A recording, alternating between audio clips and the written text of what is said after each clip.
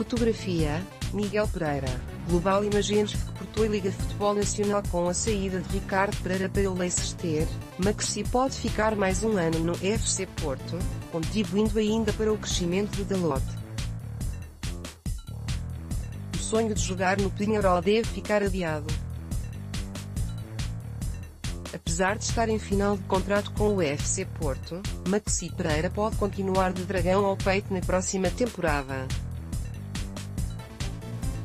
Segundo jogo apurou, o lateral direito uruguaio entra nas contas de Sérgio Conceição para atacar o bicampeonato, mas para isso terá de baixar substancialmente o contrato.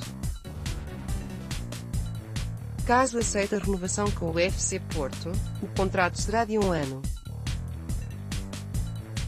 FC Porto Maxi revela, é a possibilidade de ficar mais um ano no FC Porto contratado em 2015. Depois de oito épocas no Benfica, Maxi chegou a custo zero, é certo, mas tinha um dos salários mais altos do plantel do FC Porto.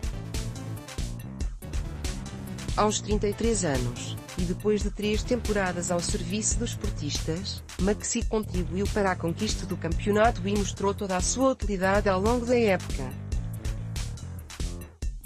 Sua experiência foi importante em vários jogos, permitindo a Sérgio Conceição ter uma alternativa válida a Ricardo Pereira para o lado direito da defesa.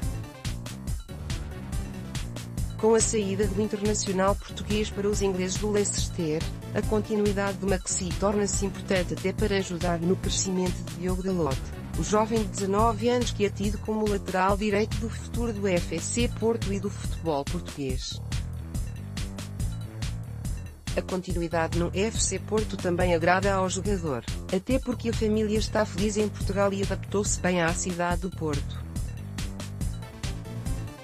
Esse pode ser outro fator a jogar a favor da renovação. Aos 33 anos, defesa até podia jogar com o facto de estar em final de contrato e de ser praticamente certa a sua presença no Campeonato do Mundo para tentar o último grande contrato da carreira, mas a verdade é que não está a colocar o dinheiro na lista de prioridades. O defesa prefere a estabilidade familiar, com a vantagem de poder jogar ao mais alto nível tanto em Portugal como na Liga dos Campeões. A confirmar-se a renovação, portanto, adiado o regresso ao futebol uruguaio.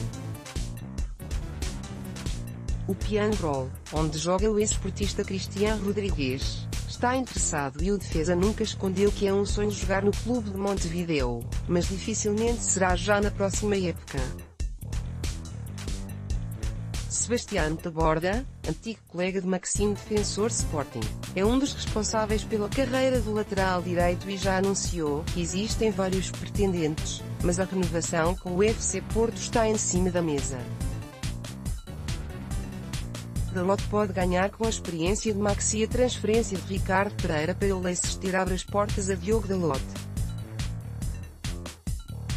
Promissor defesa demonstrou toda a sua utilidade no lado esquerdo, numa altura em que Alex Telles esteve lesionado, mas é para o lado direito que os responsáveis do FC Porto contam com ele.